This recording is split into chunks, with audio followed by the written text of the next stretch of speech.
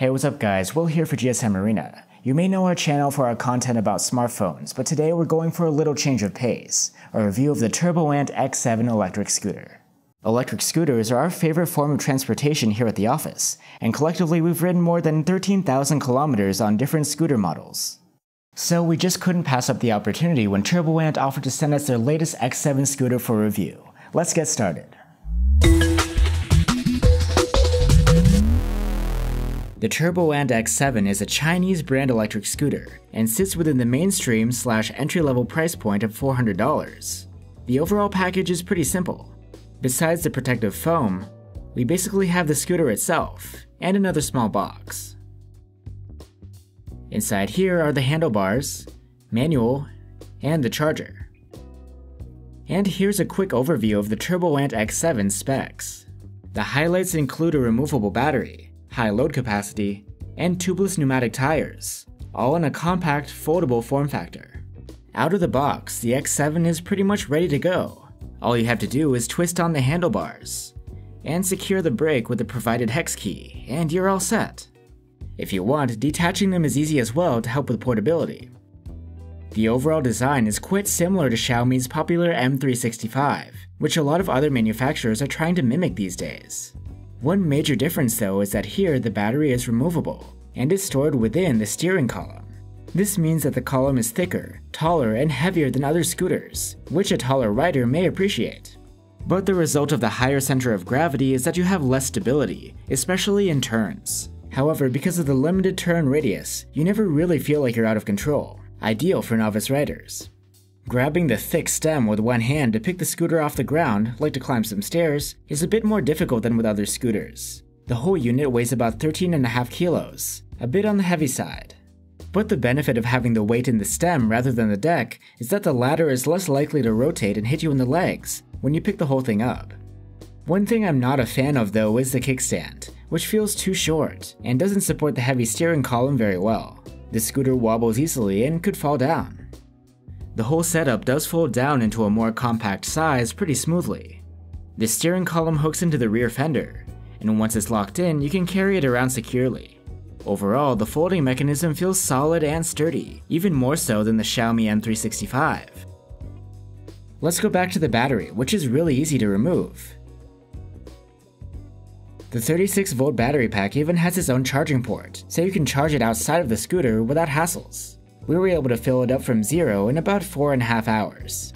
It's quite convenient, but if you're leaving your scooter unattended, someone might snatch your battery. A replacement pack from TurboAnt will cost you 300 bucks, nearly the cost of the whole scooter.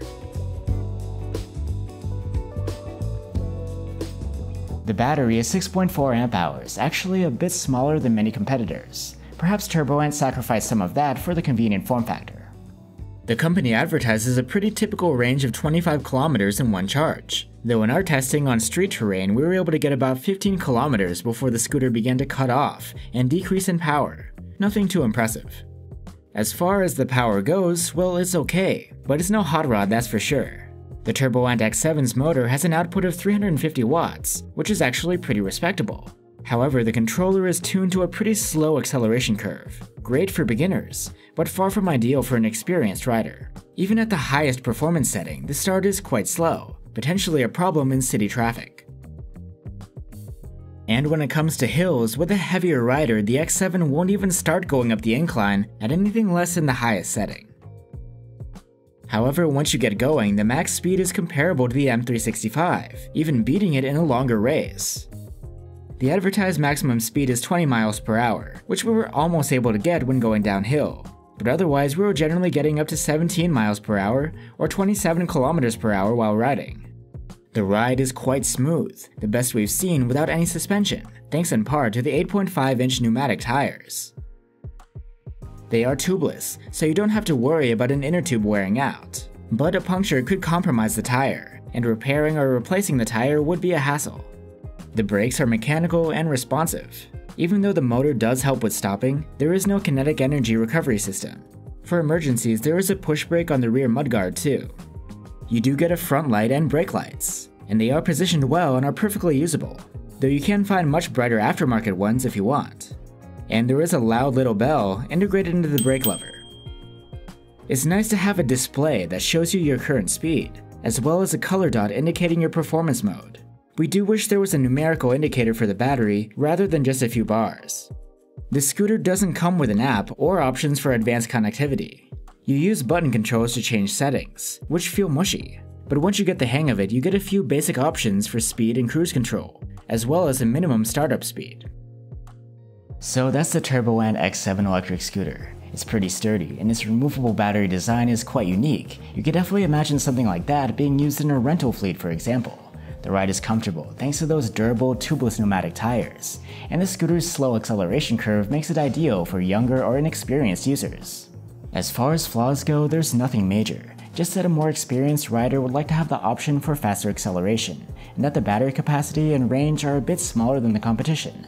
But overall, if you don't mind those things, the TurboAnt X7 is a great little scooter, which is definitely worth considering. Thanks for watching guys, and see you on the next one.